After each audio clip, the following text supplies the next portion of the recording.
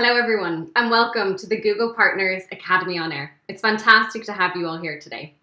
That's right, the countdown to retail peak is officially here, and today's sessions are designed to make sure that you are ready to maximize profitable growth during peak. As you might remember from June's sessions, my name is Sarah Jane Cowman, and I lead our retail product and sales activation team for EMEA. Our team supports our customers and our agencies in terms of achieving their business objectives and accelerating overall retail growth. We have a lot of fantastic content to discuss today. But first off, I'm going to delve into some of the behaviors that are shaping our 2021 peak. Last year, digital sales grew by an incredible 50% year over year to 1.1 trillion. And in Q4, retail searches grew 3x versus Q4 2019. 2021 deems to be no different in terms of continued growth. The EMEA holiday peak is anticipated to grow, with e commerce alone forecasted to rise 11.3%. That just highlights the incredible opportunity that we all have to capitalize on.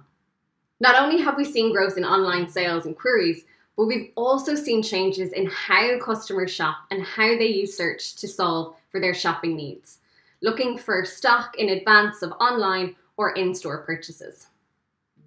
It's really clear that we're operating under a very changing environment, but the question remains, which of the new trends and behaviours that emerged in the last year are likely to stick in the mid to long term?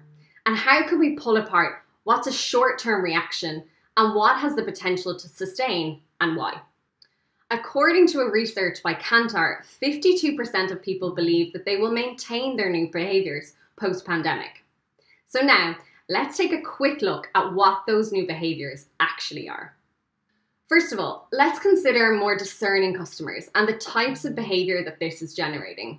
We've seen over the past year that consumers are going out of their way to shop smart, and value is top of mind.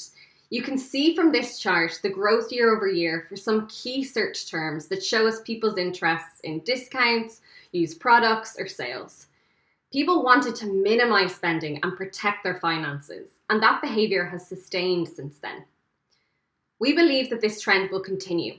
The triggers and motivations and the ability to save will be present. Ongoing uncertainty will continue to fuel money concerns and saving habits. Retailers will need to reinforce the reward, the satisfaction of finding quality products at a good price, which can also lead to customer loyalty and repeat purchases. But being discerning doesn't mean just being price driven. For some time, we've seen increasing interest in sustainability, ethical businesses, and organic products. This interest has kept growing and shows no signs of slowdown. We also believe that this trend will stick. Consumers have built their knowledge on the topic, and retailers have increased their offerings. The rewards and the motivation will still be there. However, we need to keep an eye on triggers. Lockdown gave us the mental space to reappraise our choices. Post COVID, retailers and brands should continue to reinforce the satisfaction of doing the right thing and a values based approach to shopping. Related to this, people are using digital tools to explore their physical environment. Searches for near me have been growing for a long time, and in 2020, they reached new levels. Here, the whole habit wheel is likely to endure, and the trigger of convenience likely to stay as consumers have gotten used to this way of shopping. Consumers will continue to explore new ways of shopping, which they developed during the pandemic. We can see here the percentage increase in searches for delivery and mobile apps, while searches for opening hours have declined. What's especially interesting is that the digital channel has entered the convenience space even for essentials. Along the bottom here, you can see really significant uplifts in searches for things like milk delivery or meat delivery. There's been a mentality shift here in terms of what delivery is actually for. This convenience is extremely motivating for consumers. They've tried it, they've seen that it works. And in the future, the shift is most expected on the triggers, as mobility will resume to a new level and our movement patterns will be altered. This chart shows searches for should I, can I, ideas and design. we see exploratory behaviours increase across much of last year. As digital consumer maturity grows, we see more complex search patterns appearing, such as simple house design. The month on month rise of these queries continues to be robust. We expect this trend to continue.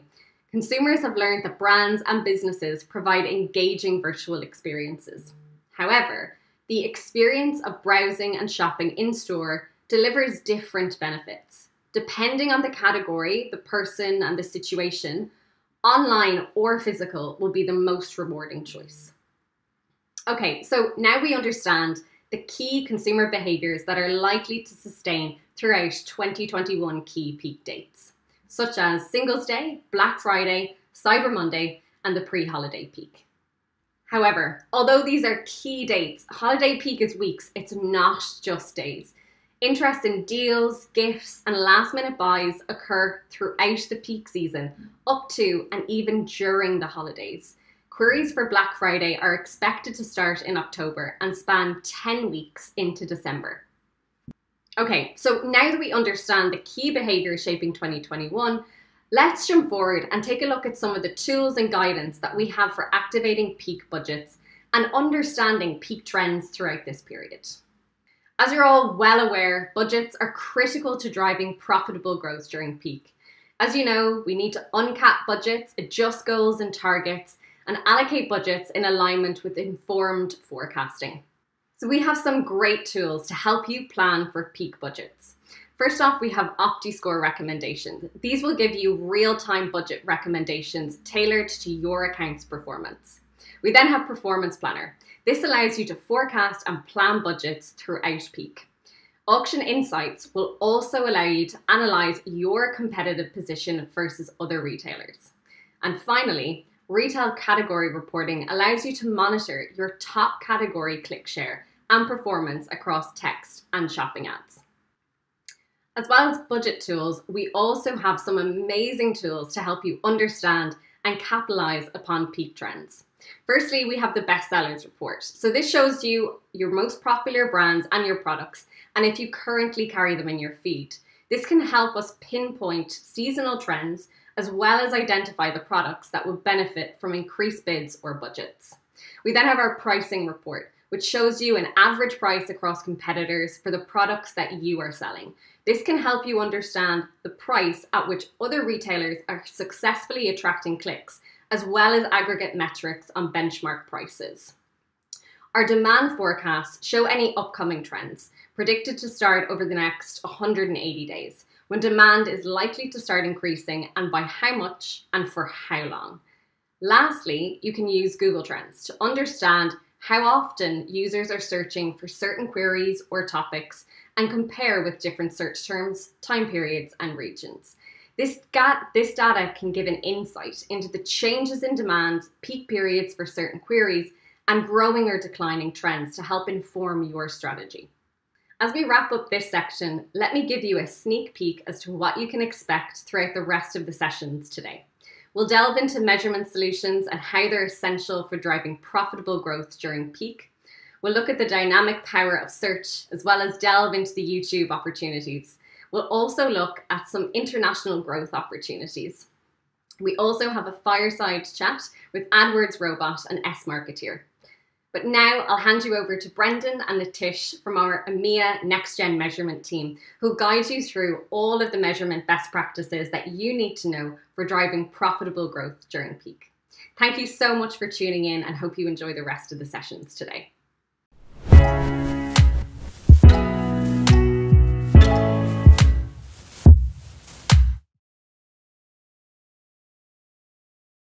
Hello and welcome to the Measurement Best Practice section of today's Academy on Air. I'm Brendan and I'm joined by my colleague Nitish and we are both product leads for privacy-centric measurement here at Google. For the next 10 minutes, we will be discussing privacy-centric measurement and why it's crucial to retailers. And what are the best practices that you need to be doing to get the most out of your measurement strategy? Nitish, what's on your mind when it comes to retail peak season this year? Hello everyone, Brendan. The biggest thing top of my mind is that this will be a different holiday season for our retail advertisers. This year, their customers will not just only care about deep discounts and faster deliveries, but will also greatly care about online privacy.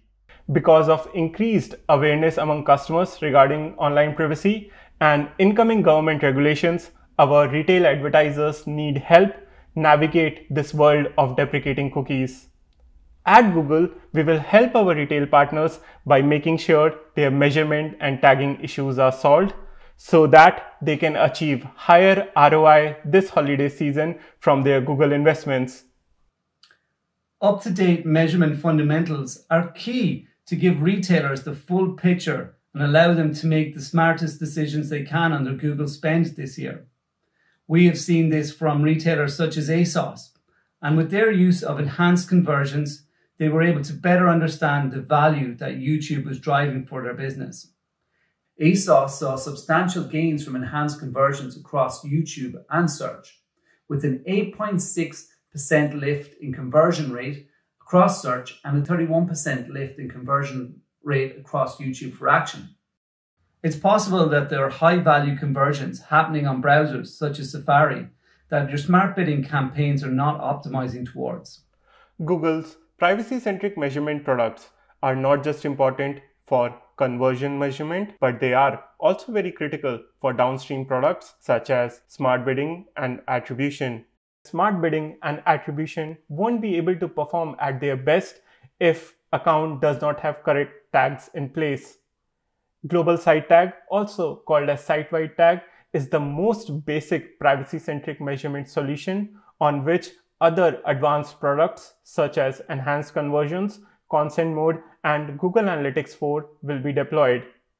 These all private privacy-centric measurement products together will help improve automation and modeling capability of our Google Ads campaign, which will result in higher profitable growth for our advertisers. I've spoken with many retailers who are looking to their agencies to help guide them through these changing times of privacy. Agencies can help accelerate trans- transformation today and future proof things for retailers by helping them collect and activate first party data. This is an opportunity for agencies to adapt to privacy centric measurement solutions that will help mitigate conversion loss for your clients. If data gaps are not addressed, your clients will see performance impact downstream on smart bidding and automated campaigns. The digital ads ecosystem is changing, and we're moving from the precision age to the predictive age. That's correct, Brendan. This changing ecosystem has put a lot of challenges in front of our advertisers. The whole system was dependent on third party cookies since 1994 to understand their conversion measurement and understand what ROI they achieved from their media campaigns. With deprecation of support for third party cookies, this is at risk. Yes, absolutely. And we have the Google Site Tag to help mitigate things like Apple's ITP and it's the foundations for our private centric measurement solutions. It helps to easily collect first party data and also helps protect you from the upcoming Chrome changes where third party cookies are going to be deprecated. That's great to know, Brendan. But what about loss of support for first party cookies in long run? Yeah, great question, Nitish. And for that, we've got enhanced conversions, which utilizes cookieless solutions to continue to measure and track conversions limited by browser changes. It helps advertisers to get 5% higher um, conversions on search and up to 12% higher conversions on YouTube. The feature uses a secure one way hashing algorithm that will hash your first party data, such as email addresses, uh, before sending it to Google. The hash data is then matched with Google, with Google user accounts to help attribute campaign conversions from events such as clicks and views. That's amazing, Brendan. Do you also have something to help our advertisers navigate the oncoming regulatory changes which are happening in various countries? Yes, absolutely, Nitish. I've got your back. Consent mode, it allows you to adjust how the Google tags behave depending on the status of consent for users on your site. On average, consent mode modeling can get more than 70% of conversions that are lost due to consent choices on your site. Now, I would like to take this opportunity to introduce Google Analytics 4.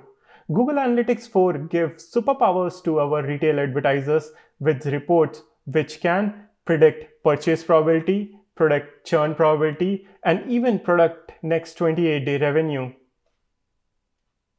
Yeah, that sounds absolutely amazing. Really looking forward to seeing more of the features from Google Analytics 4.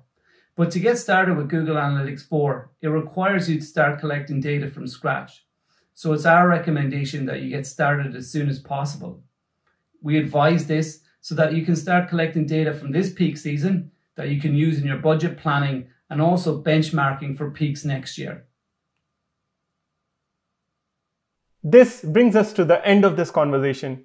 The two key takeaway I would really want all of you to leave from today's conversation are first, if you really want to make most of this holiday opportunity, you need to leverage Google's privacy centric measurement solutions. Second, the privacy journey has just begun, and clients are turning towards their agencies to really help them navigate these challenging times. Thank you for your time today.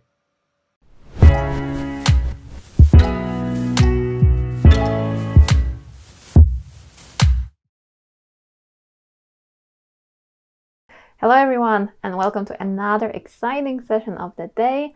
Now we'll focus on how you can prepare a perfect search and shopping strategy for the peak season. Later on, we'll hand it over to Katarina for a fireside chat with two of our excellent agencies. I will co-present this session together with Owen, our regional search specialist, who will now focus on search excellence and coverage. Thanks for that. Hi guys, my name's Owen. I am a product specialist on our search team here in Google. Uh, in this section, I'm going to take you through some of the best practices to keep in mind around search excellence and coverage in preparation for peak season this coming Q4. Before we get into that, I thought it was important to just look at a few focusing facts to set the scene in terms of how competitive this coming Q4 is expected to be. So what we've seen recently is 23% of online shoppers are now starting their research period at least three to six months in advance of the peak season, which just highlights how important it is to be discoverable during this period. We're also seeing that 81% of online shoppers during the pandemic were using search to discover new brands. So it's important then to be discoverable during this period as well. And just in general, we're seeing a real change in the way users are using search. So we've seen a really big increase in more ambiguous type queries, such as best affordable and available near me. And in general, we're just seeing a really big trend in terms of the way users are searching for these more ambiguous long tail queries, which are very difficult, if not impossible to capture using a traditional keyword setup of having lots and lots of exact match keywords, trying to anticipate how users are searching. In order to do this, it's really important that we look at two things. Do we have the right targeting within our accounts to capture these more ambiguous long tail queries? And do we have the right creatives in place to ensure that we have high ad ranking for these new queries we're now appearing against? Without a high ad ranking, one of two things is going to happen. Either we're going to pay an inflated price to appear in that auction, or we're not going to be in the auction at all. So it's really important that we're placing emphasis on the quality of our creatives. So I'm going to bring you through a step-by-step -step approach to ensuring that we have the right targeting and the right creatives in place well in advance of this coming Q4. Starting with the most important piece here, broadening our targeting using broad match keywords paired with smart bidding. Broad match can capture all of the same queries as our exact and phrase match keywords can capture, plus many, many more. And what this means when paired with smart bidding is that we will only enter into the auctions that are likely to contribute towards our smart bidding goal because smart bidding can choose to enter us into the auction where it makes sense and opt us out of the auction where it doesn't make sense. So broad match and smart bidding go, really go hand in hand here. So this isn't just because we've improved vastly in terms of our smart bidding algorithms. We've also made huge product changes and improvements to the way broad match keywords behave. And these signals are only available on broad match keywords and are not available in other match types like exact match or phrase match. So our product team have made huge changes here and they've started to include things like dynamic search ad technology, where we're using the landing page as an additional filter to understand the context of that landing page. We're also looking at other keywords within that ad group to get a better understanding of theming. We're looking at users' previous search behavior. We're looking at their, the user location just to get a better understanding of relevance. And what this means that on average, when we pair smart bidding with broad match keywords, we drive on average a 25% increase in conversions and a 12% increase in conversion value whilst maintaining that CPA or ROAS goal that smart bidding is aiming towards. So there's a couple of different ways to go about implementing broad match keywords. Firstly, we should be looking at the OptiScore recommendations within the account. OptiScore will recommend that we update our existing keywords to broad match versions for campaigns that are already using a smart bidding strategy. And this recommendation will come with impact stats in terms of the volume of conversions we should expect to drive or the volume of conversion value we should expect to drive by implementing this. If we want to do this under a more test this under a more controlled environment, then we can do that from the recommendations tab itself. So we may want to test this well in advance of peak to get an understanding as to how this can impact our overall performance. The OptiScore recommendation comes with a one-click apply button for drafts and experiments. The three little dots beside the apply button will allow you to set up a drafts and experiments and you can choose to do this via a 50-50 traffic split where we'll be able to measure the impact of broad match plus smart bidding versus your existing keyword setup. Remember to do this well in advance of peak so we can learn from this and have it in place across all of our campaigns in time for those busy periods. One advertiser that went down this route was German uh, online retailer My Toys Group and they tested broad match plus smart bidding with two of their top brands, Mirapodo and MyToys and MyToys.com. What they saw from doing this test was an incredible improvement in terms of the volume of conversions and the volume of conversion value that they were driving, while maintaining that return on ad spend that they had set out to achieve. The next step in this journey in terms of having full coverage across the board is using dynamic search ads. So dynamic search ads, I'm sure a lot of you are familiar with at the moment, but this is an ad type that does not use keywords. Instead, it uses the content on your landing page to match queries to that content and will serve users the most relevant ad and send them to the most relevant landing page based on that query. If we're yet to use uh, dynamic search ads and we don't haven't set this up yet, we can start by doing this using either the categories option or landing pages from existing ad groups. If we're already using dynamic search ads, then we should aim to expand our coverage by targeting more and more of our web pages and moving to something like all web pages under smart bidding.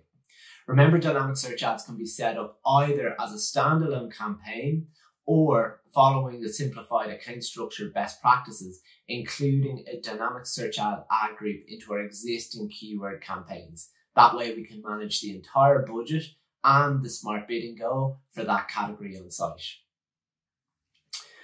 Another um, example of an advertiser who used dynamic search ads as part of their fully automated strategy was Musimundo, an Argentinian retailer. They included dynamic search ads as part of their wider strategy and saw really strong results in 2020 versus 2019. So make sure we're covering all bases with dynamic search ads as well as broad match targeting because the two can go hand in hand. The final step in terms of ensuring we have full coverage is to spot trending queries. Ensure we have targeting for those trending queries as they come up. Using the OptiScore recommendation for add new keywords. This recommendation will suggest to add additional keywords into your existing ad groups based on trending queries within the vertical itself. And this recommendation will always drive net new traffic to your account because we will only suggest new keywords if we do not have coverage for them already. So make sure to keep an eye out for that recommendation and check it on a, a weekly basis to ensure we're covering all bases. Finally, having the right search targeting in place is half of the battle.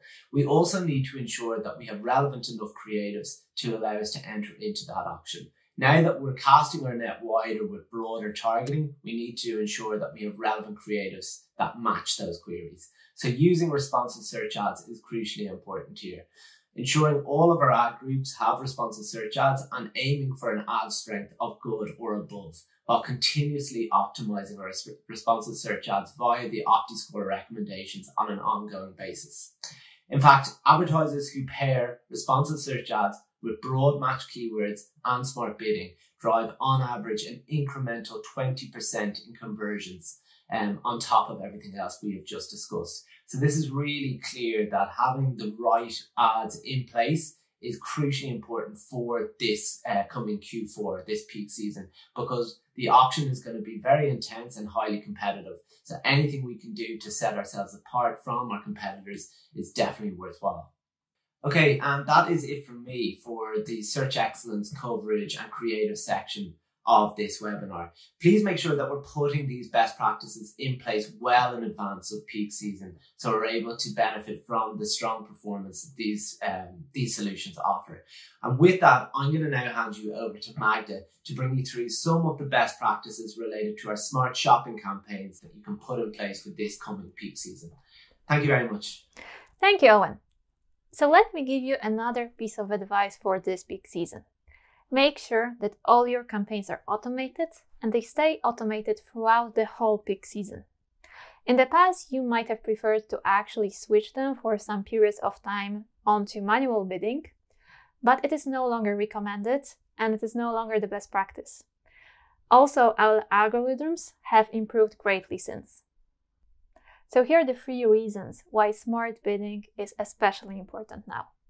So firstly, in these dynamic and volatile times, the smart bidding will allow you to adjust the bids to unpredictable changes in demand and drastic changes in auction dynamics. Secondly, it will not only take into consideration your account data, but also the data of the ecosystem and take a look holistically at the changes and predicted changes in the queries.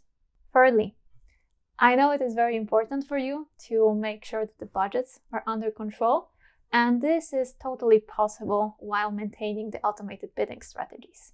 So you can create a structure, you can adjust the bids, and you can adjust the budgets to make sure that the objectives of your client are met. So now you have your automated bidding strategies in place. And now what?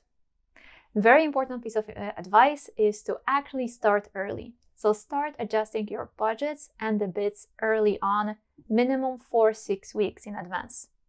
So you know that actually the users would start to research the products very, very early on. And actually you might see the demand for your clients' products getting bigger and bigger with time.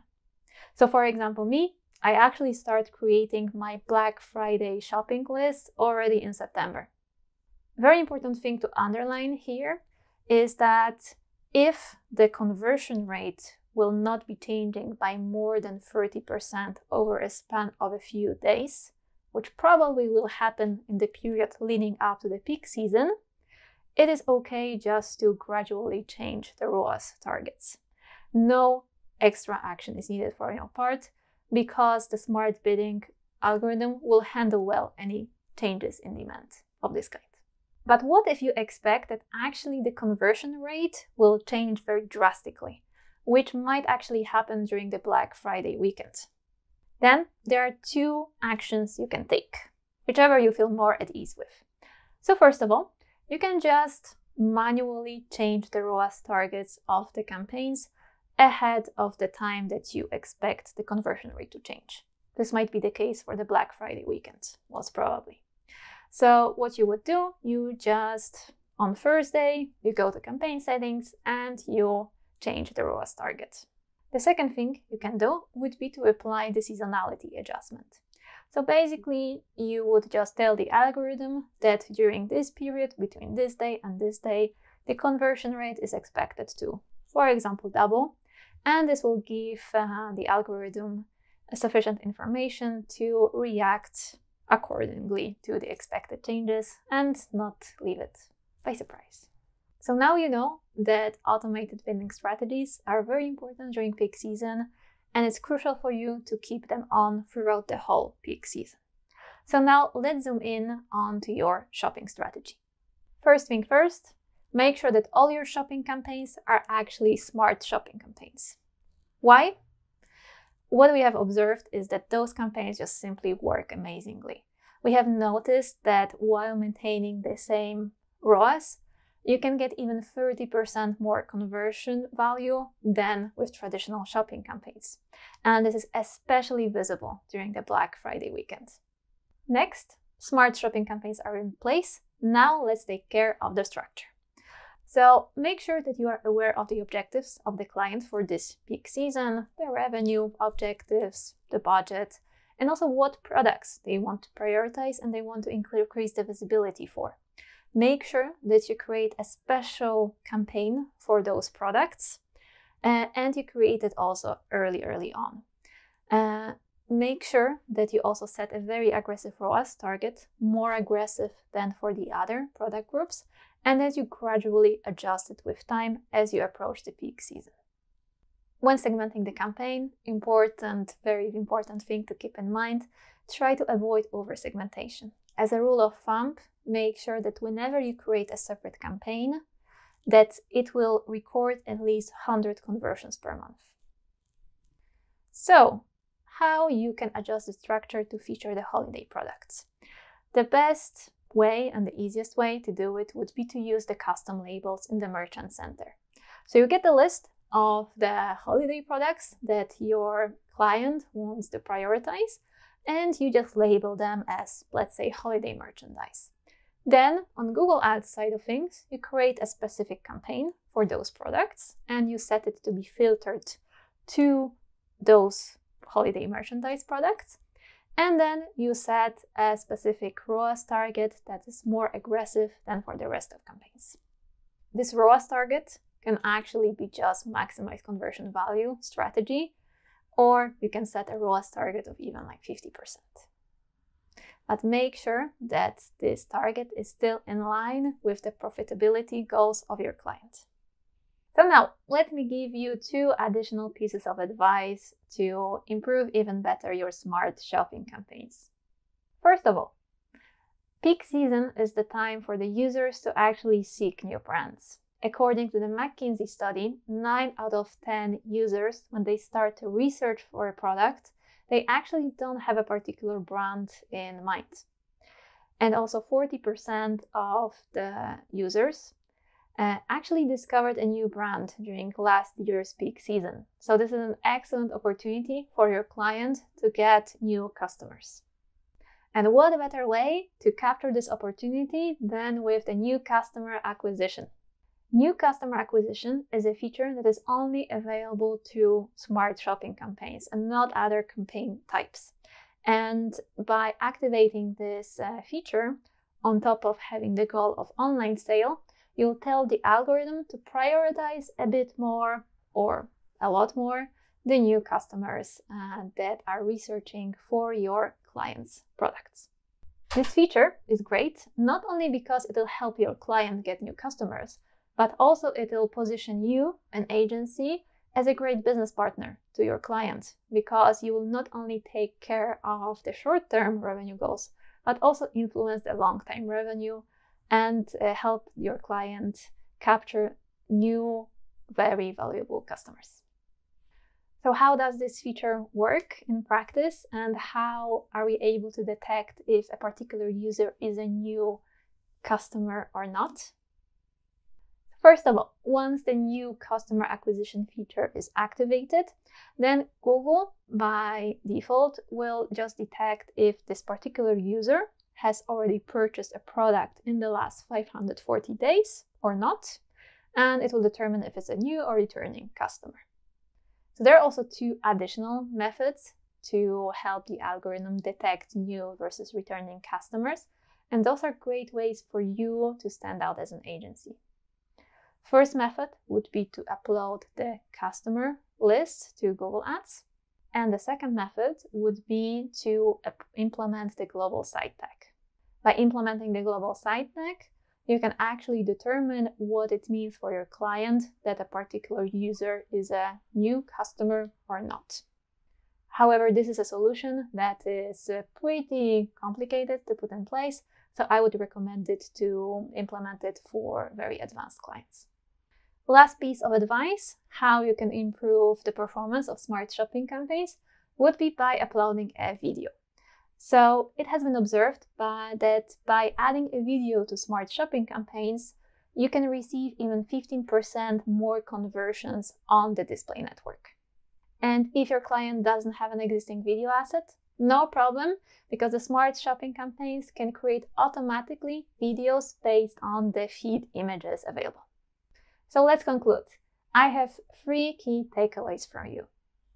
So, first of all, when creating smart shopping campaigns or restructuring them, make sure that you use custom labels to create a separate holiday campaign where you can feature the most important products for your client and the ones that they want to increase the visibility for.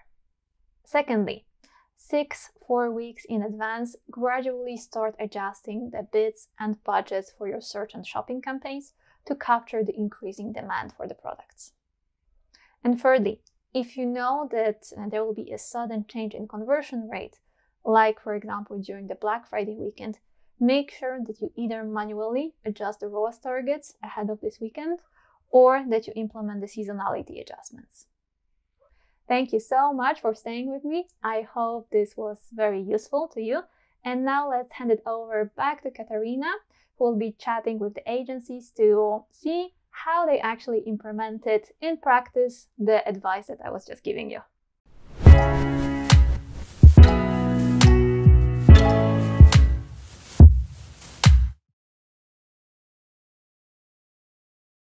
Hello everyone and welcome to the Academy on Air Countdown to Retail Peak. My name is Katarina de Vlieg and I work as EMEA's retail lead for agencies. I'm always super excited to talk to our agency partners since they play a critical role in driving business impact for our retail advertisers. I'm joined today with two amazing agency leaders, Dennis from AdWords Robot and Johannes from Smarketer. Today we're going to discuss how they are able to drive business impact for their retailers during peak moments. I'm also joined by Daria, who has immense experience with working with our agency partners and driving business impact for their retailers. But before I start with the questions, I would love everyone to introduce themselves. Dennis, I would love to kick off with you. Can you please introduce yourself as well as your agency? Good day, everybody. My name is Dennis Dubowski. I'm the founder of AdWords Robot from the Netherlands. At AdWords Robot, we are focused on developing innovative tools to help e-commerce clients grow and get their competitors out of business. We help around 3,500 merchants around the world, and I'm really happy to be here. Thanks, Dennis. It's absolutely great to have you here today. And Johannes, would you also please like to introduce yourself as well as your agency? Hello, my name is Johannes Wittlinger. I lead the Google Shopping Ads team at Smarketer. Smarketer is one of the leading Google Ads agencies in German market. And we have a special team for Google Ads in, in shopping. For every Google Ads challenge channel, we have an expert team, and we have a yeah we have a lot of different international clients, and we try to bring with our expert team the maximum out of Google Shopping. Thanks, Johannes. Super great to have you join today as well. Daria, could you also please introduce yourself? Hello everyone, my name is Daria and I lead the agency team here in the Dutch market at Google. My team is working closely with agencies like AdWords Robot and Smarketer and I'm super excited to be here today. Thanks Daria, thrilled to have your perspective as well. Let's kick off with the questions. Dennis, to start off with you, could you please share what kind of client objectives you are trying to achieve for your retailers? Yeah, that's a very good question. Because we deal with e-commerce clients, the following goals are the most common. The first one would be maximizing profit for each dollar spent in Google Ads, and the other one would be maximizing the amount of new clients. To maximize the profit, we not only take a look at return on ad spend, we often look at customer lifetime value, for example, because in some businesses, customers buy multiple times a year. We also take a look at attribution, If the customer buys direct, it doesn't mean they didn't interact with your ads. And we of course take a look at margins. Some products have higher or lower margins, and you need to take that into account as well. If the focus lies on getting new customers, we try to focus on impressions. We try to increase reach. Think here about broad keywords, banners, and in some cases lowering the return on ad spend for some product groups. In any case, we try to get clicks earlier in the customer journey, so you can remarket a little bit later and sell as well. Dennis, I'm very excited that you're sharing that you're using uh, broad match keywords because not only will this help you to increase your reach, but we also see that leveraging broad match keywords will um, result into an increase in performance. Like Owen shared in the previous session, with the help of broad match keywords, we experienced a 12% increase in value on average for target ROAS campaigns. Additionally, what I also really like that you shared is the fact that you already need to think about targeting the target ROAS goals in order to make sure that you're present because the shoppers are already researching what to buy for their loved ones. Johannes, could you also please share uh, what kind of client objectives you are trying to achieve for your retailers? Thanks, Katerina. The objectives we use depends on the goals of our clients. So together with our clients, we determine which metric is the best for him. And in Google Ads or Google Shopping, especially, we have uh, one big advantage, advantage and we can manage the campaigns very performance orientated. So, like Dennis said, um, we have a lot of revenue based metrics we use, but also we can use new customers or attract margin or even offline store sales. So we have a lot of opportunities with the metrics and there's a bit big mix. Thanks, Johannes, for sharing. Actually, what we find out is when we join the client calls and talk about customer objectives, they're very similar. The clients want to drive their revenue. They want to grow their business. They want to drive offline and online sales in a profitable way. What really differentiates the agency is how do they go about approaching this and helping the customers to achieve their goals. In my opinion, there are two factors that are successful for the agencies. One is really listening to your customers and really putting that in, in top of your mind. And secondly, it's always innovating through automation, and product adoption that Google solutions offer. Could not agree more with you, Daria. Clients expect their agencies to be their strategic partners, and I'm super happy to hear that both uh, of you are fulfilling that role. Let's kick it off with the second question. Dennis, could you please share your strategy for peak? During peak season, volume and timing is key, but there are also some challenges. Overselling would be one. To overcome this, we use first-party data from the client to help Google's algorithm. We look at sales velocity. This is the product quantity sold within a certain time. If our system predicts that the product will be sold out soon, we stop advertising on the product. The product will be sold organically anyway, plus this opens a budget for other products, which helps business grow overall. If you have an apparel type business, where sizes matter, we look at which popular sizes are sold out. If the popular sizes are sold out, we stop advertising for the whole product. This way we minimize this return. Stock level issues is definitely something that a lot of retailers are experiencing during the pandemic as well as during those peak moments like you said. So I'm absolutely happy to hear that you are leveraging uh, first party data of the retailer in order to enrich the algorithm and make it understand which products to focus on and which products not to focus on to really maximize the returns for your retailers. Johannes, could you also share your strategy of peak 2021? The peak season always gives us the opportunity to gain market shares and new customers. We have high search volume and the customers want to buy. So one strategy is to focus on new clients. With the SSC and the new customer acquisition, we have the right tool for it. Also, at Smarketer, we have a white paper which we share with the clients. Step by step, we have a to-do list to prepare perfect for peak season. Thank you, Johannes. I love the fact that you're publishing white papers and also the fact that you get the most out of the new customer acquisition feature to gain market share for your clients. Dennis, what about you? What are your plans for peak 2021?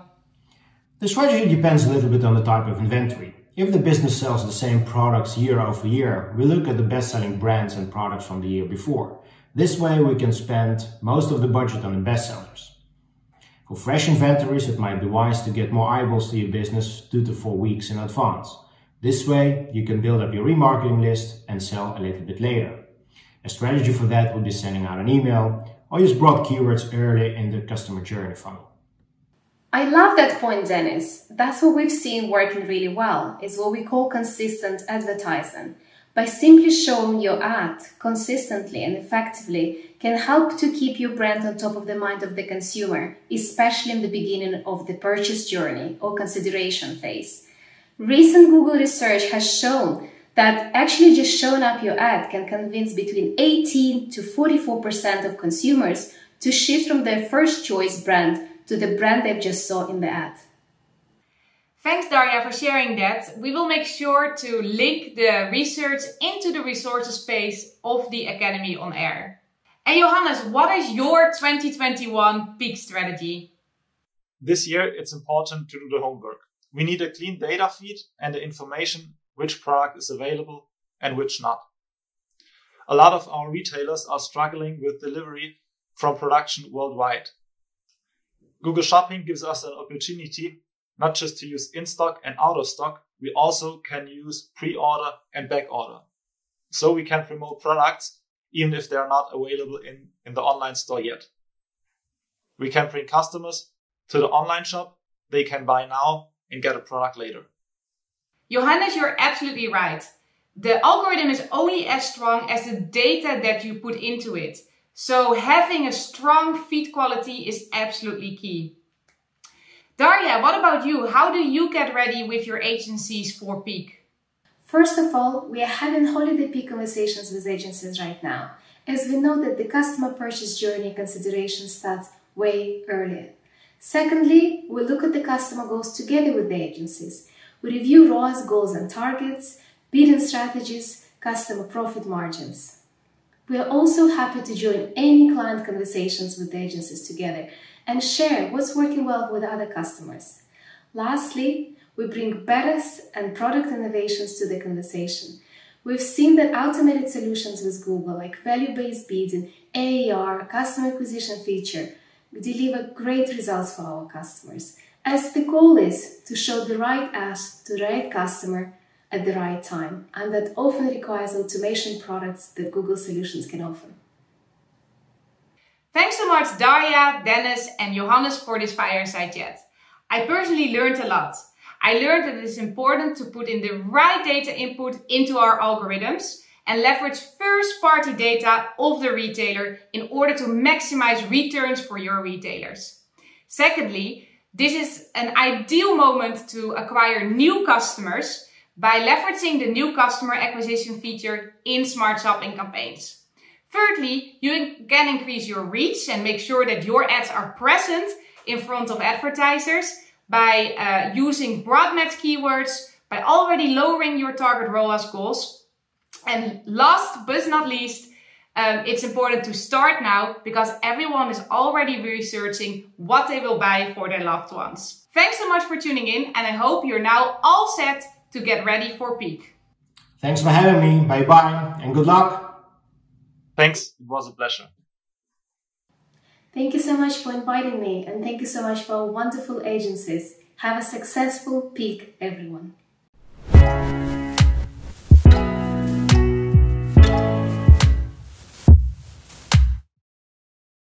Hi everyone, and thank you very much for staying with us today. I know it has been a very long session so far, and I'm very excited for what's coming next on how to build the best video strategy for your business. I know how busy the next few months and weeks will be for you and your clients, so I really want to make sure that you can make the most out of today's session. Uh, my name is Marco. I'm a regional product lead uh, working with Video Ad Solution. And uh, in my daily job, I try to help businesses build the best video strategy for their marketing objective.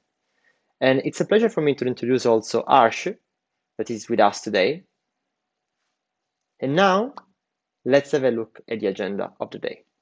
The goal of the day is really to make sure that you can understand how to build the best video strategy for the upcoming retail season and make the most of our new feature and solution uh, for your strategy. With YouTube ads today, you can drive results better than ever before. And the reasons for that is that now we have video action campaign format that is optimized for uh, the conversion that is relevant for you. More specifically, with video action campaign, you can now get plus 200% uh, CTR at, at minus 40% CPA compared to a normal true campaign. At the same time, you can also get amazing results on a search strategy with plus 8% average conversion you can get on search and minus 4% CPA thanks to the video action campaign. One of the main reasons why you can get such a strong performance on video action campaign is definitely the targeting. More specifically, now we have the custom intent audiences, which leverage what users are now looking for on Google. We know that 86% of people who are looking for a specific product online today goes to Google. We can now target those people on YouTube to make the most out of the performance strategy we can build together. More than that, Video Action Campaign now also offer the product feed extension, which will be key for the upcoming retail season if you also want to display your products below the video that communicate your message online. There are three key advantages of using product feed extension with a video action campaign. The first one is that you can now connect YouTube to the Google Merchant Center and have all the key products of your website listed directly on YouTube. The second point is that now you can also um, filter out the products that are most important for you and you can want to push and deliver to uh, your clients. And third, you can now optimize a strategy for CPA, controlling the cost per acquisition and optimize for the level of conversion that you want to reach. On average, advertisers that leverage video action campaign with the product feed can get up to 60% more conversion than those that use just TrueView in stream on YouTube. So definitely a key feature to leverage for the upcoming retail season. I'd like to share with you a great success stories of an advertiser that leveraged video action campaign with the product feed. And this is Julia. It's a great retailer that really wanted to test this solution um, to boost online sales. And they actually got amazing results, plus 36% of conversion rate and lowering uh, the CPA of 20%. This was a huge uh, and important results for their business, and now they're scaling their investment thanks to uh, this great feature.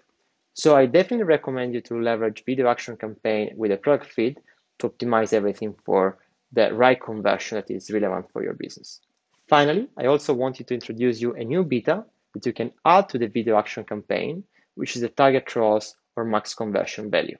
As you know now, you cannot just leverage and optimize your strategy for the number of conversion or the CPA. You can now control the return on ad spends and also the value of your conversion you want to get. So you can now really focus on the margin and the value of the conversion to optimize your strategy for what's important and relevant for your business. I'm gonna now hand it over to Arsh, who's gonna deep dive on the best practices when launching a campaign and also how to forecast and plan in advance what's coming next on your YouTube strategy. Thank you very much for your time today. Great. So thank you, Marco, for sharing the exciting update on video action campaigns, which are using value bidding now. Hi, everybody. I'm Arsh, and I lead video as a product in UKI and work closely with a lot of agencies in the cluster as well. So let's quickly move on to how do you actually operationalize the aspects of, of the setup of for video action campaigns. So I will first quickly share a very simple six-step checklist to set your video action campaigns and your clients up for success. So first and foremost, foremost is to use uh, Google Ads conversion tracking to capture the conversions which are really valuable for your client's business. So this could mean, for example, sales uh, uh, for your e-commerce client and the reason why it's also important to set and have Google Ads conversion tracking in place is to also future proof your clients' uh, measurement systems. We know that as we go forward, cookies will become less and less prevalent, and hence, hence it's really important to have Google Ads conversion tracking, which is really creating those additional modeled conversions for you so that you don't lose a track or your clients don't lose a, a track of the conversions in the first place. Secondly, is to select the goal of the video action campaigns itself. So once you know what your client's objective is, let's say if it's driving sales during the really important retail peak, or in the lead up, is it driving website traffic and building that sort of momentum to drive sales when the really important peak hits? So those are the goals that you may want to think about with your client and then feed it in the video action campaigns. The third and the next uh, really important bit is selecting the bidding strategy. So you could start off with TCPA bidding, which is basically bidding on a particular cost per customer acquisition. And you can use the suggested TCPA in Google Ads for your clients. So you don't have to uh, uh, think a lot about what you should be starting off with. Google Ads UI will do the heavy lifting and provide you with a suggested TCPA. Otherwise, if you want to, let's say, if your client is interested in driving as many conversions during a retail peak as possible within, let's say, a specified budget and is not so concerned about the cost per acquisition or the efficiency plays, then I would recommend leveraging maximize conversions. Audience is uh, an, an extremely important lever as well when you when you think about optimizing your video action campaigns. So I would recommend that you start off with custom audiences, which are, let's say, built off already really high performing search keywords. Uh, secondly, use remarketing lists. So uh, uh, before the lead up to the actual peak, if you've been running some sort of video for your client, you would already have remarketing lists automatically built in by Google Ads and just use them across both YouTube as well as your search and shopping campaigns. And last but not the least are customer match lists. So for example, your Plus client has shared the CRM list or existing customer base lists. You can basically build a customer match list on top of that, which will help the system find customers which are most likely to convert basis the signals provided by your existing customer base. Additionally, I would also recommend that you set up uh, and switch on audience expansion for your clients' campaigns. Now, this is really important again, uh, given during the highly volatile retail peak, uh, you would want this to give the system enough runway and enough sort of uh, runway to flex around with potential audiences who are most likely to convert during that highly volatile peak period. Last but not the least, ensure that you add product ad feeds to your campaign as well. So if you have a Google Merchant center already set up for your client, you can basically talk with them and select the most important products or SKUs that you want to sell. Your clients want or your client wants to sell during that uh, retail peak, and you can add them to uh, your video action campaigns. Uh, that, that becomes an extremely crucial aspect of video action campaigns as well because you're leveraging people's attention at that moment and driving direct conversions from uh, watching the video itself. Now, uh, last, I would also recommend running at least five creative variants for your assets. So you can you don't necessarily need to have five different uh, production assets uh, in essence, but you can play around with changing, let's say, the click to action button or the headline text as well. Uh, the reason why we recommend at least a minimum of five is because through many panel researches we've done online, we find that at least five creative variants gives the system enough runway to flex around and optimize successfully when retail peak hits. Great. So now that we've gone through the uh, checklist to set your uh, client's video action campaigns up for success, I will now come down to how do you actually view the reporting aspect of it and how do you make sense of it? So there are broadly two types of conversions that you would want to understand uh, in order to have that conversation with your client. One is a last click based conversion uh, model, which you're already familiar with, which is let's say you someone watched a video ad and then went to the client's website, converted, made a purchase. So that's your last click. The non last click types are basically where a customer viewed your ad but didn't immediately convert, but let's say saw some other ad in the final consumer journey and then converted. So those are broadly the two type of conversion actions available. Now, what we have for you uh, is that uh, we've simplified how to actually make sense out of this and report it back to your client. So I'll talk a bit about the reporting services in the coming slide now. Right. So we have a team of highly dedicated motivated experts who are both data analysts and YouTube experts who prepared the full value of YouTube that I just spoke of. So you don't have to do the heavy lifting, they do it for you And this covers both the full value of YouTube as well as sharing cross channel networks. So, really unpacking where YouTube actually influenced, let's say, your other media channels. And also, in case your client is running a lift study, be it brand lift or search lift, which becomes extremely important in the run up to retail peak to see the uplift in uh, brand search keywords, they will also factor in those aspects while sharing the report with you. Now, that's a very um, efficient way to sort of just get a reporting uh, a report in a, a couple of days to three days for your client. And there are two kinds of reports that you can sort of request for. One is a mid campaign report, where let's say while the campaign is running, you want to share an update with the client. Another is once the campaign ends, you want to really share the full uh, full view of how the campaign performance played out, and that's another kind of report you can request for. The way for you to request this is to reach out to your Google rep, and they will help you uh, help and share the reports with you. So last up is the final piece of the video puzzle, which are, as you might have guessed, uh, creatives. And we've heard a lot of feedback uh, uh, from all of you saying that how creative can sometimes be a roadblocker. Hence, we've come up with two services which can help simplify this pain point for you. So the first one is really more of a self-service tool, which is called the Video Builder tool. Uh, it basically is a, a, platform where which renders static images, logos, text to very lightweight YouTube assets. The turnaround time is uh, in a few hours, uh, basis the time that you take to sort of build uh, and add those inputs, and it's free of cost you can uh, get yourself whitelisted for the video builder uh, uh, tool by reaching out to your Google rep. The second is a slightly more up in the value chain. So if you want to have a slightly more heavyweight video asset, again, free of cost, we have the GTech Premium Creative Services, which is a mouthful, but uh, in essence, what you need to understand is that we have a team of creative experts who again will use the inputs that you add into uh, the video builder tool like your static images, your static logos, uh, uh, text, and they will again create a, a, a high quality YouTube optimized uh, creative asset for you. So for them, the turnaround time is typically uh, three days and uh, it's again free of cost. I will recommend that you reach out to your Google rep again if you would like to leverage these two creative services we have for you.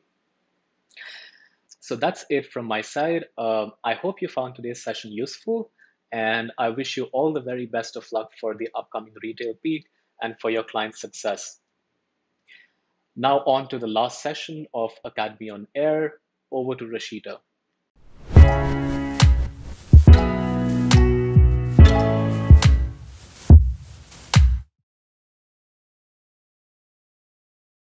Hi everyone, my name is Rochita and I'm a senior international growth consultant at Google. Thank you for your time so far on the Countdown to Retail Peak Academy on Air. This is the last segment and we are going to talk about international growth. Let's start with a number $1.1 trillion. The 2020 holiday season was the biggest ever for digital retail sales globally, up 50% from the previous year. While we can't predict what the 2021 holiday numbers would look like, what we certainly know is that there's been a significant shift towards online purchasing. In Q4 2020, the retail queries were 3x higher than the previous year, signifying a major shift towards digital. So, what does this mean for us? Peak is here and it's borderless. The consumer shift from offline to online opens doors to shopping internationally. And if you have a client that's looking to expand into international markets, Now's the time to put that plan into action. Global share for retail peak is growing at an unprecedented pace and faster than we thought. 47% of retail queries last year came in from North America, followed by Europe at 35%, and the rest of the world is significantly growing their peak share as well. And you know what's interesting in all of this? 58% of the consumers in Benelux and Nordics looked out for a new brand to shop from last year.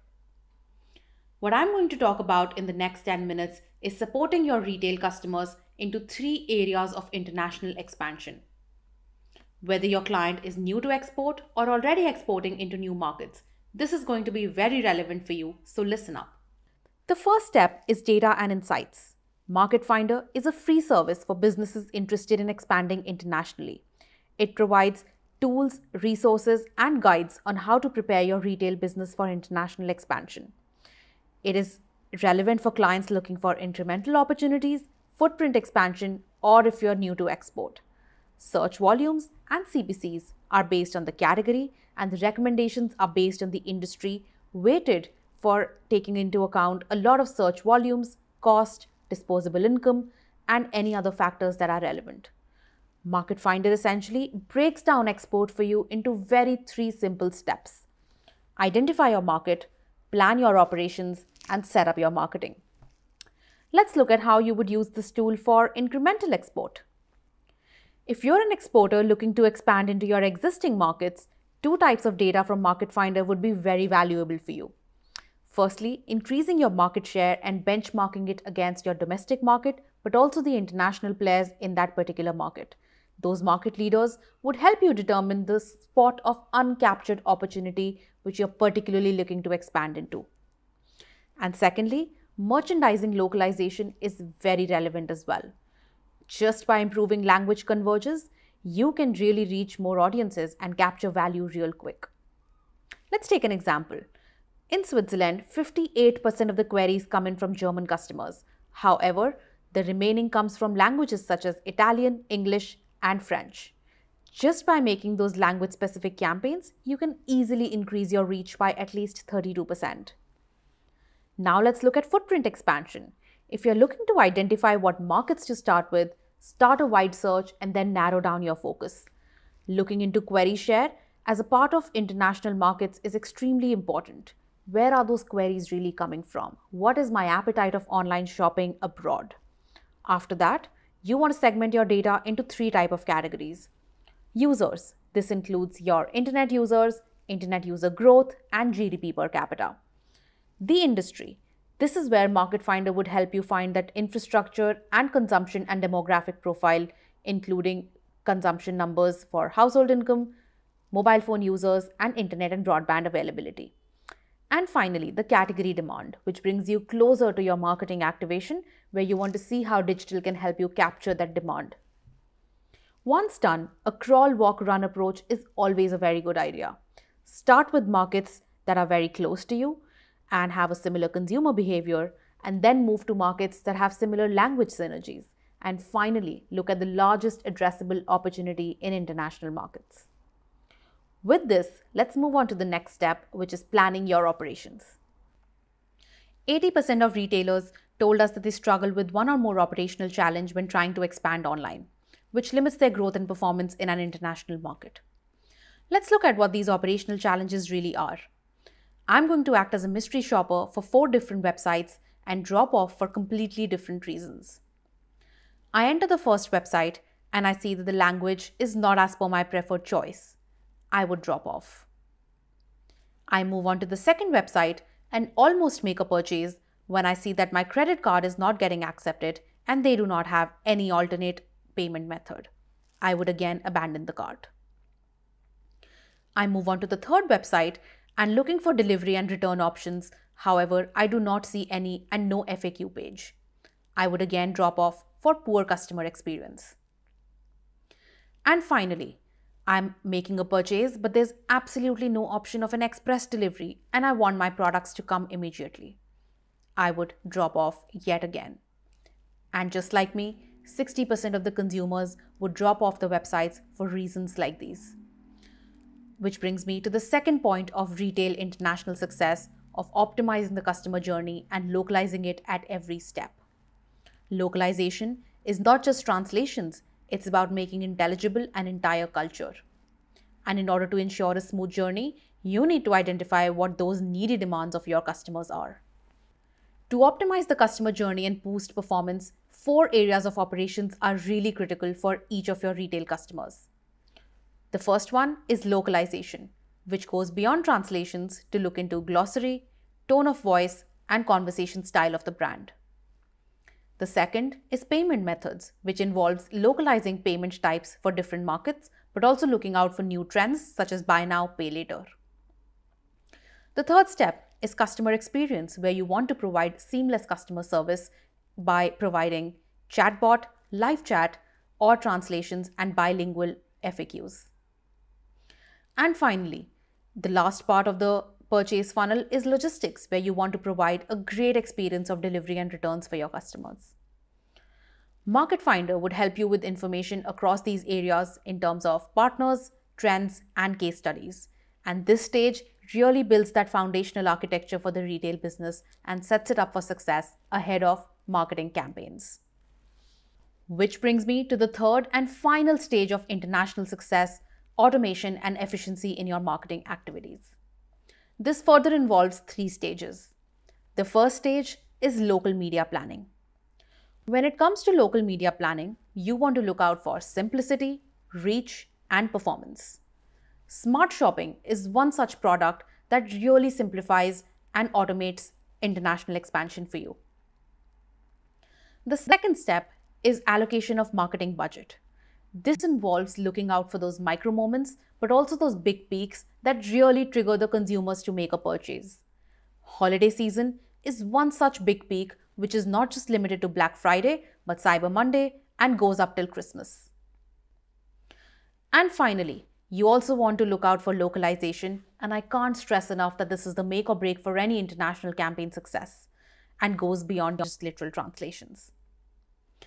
The international growth via digital channels is becoming an increasingly strategic primary objective for a lot of retailers, and agencies like yours have a very critical role to play, not just in terms of advisory, but also in terms of hands on support. E commerce acceleration globally is very fast at the moment, more than 21%, and you want to support your clients in going global. I hope you found this useful, and I'm going to pass it back to Katerina to help you summarize the entire event for today. Thank you.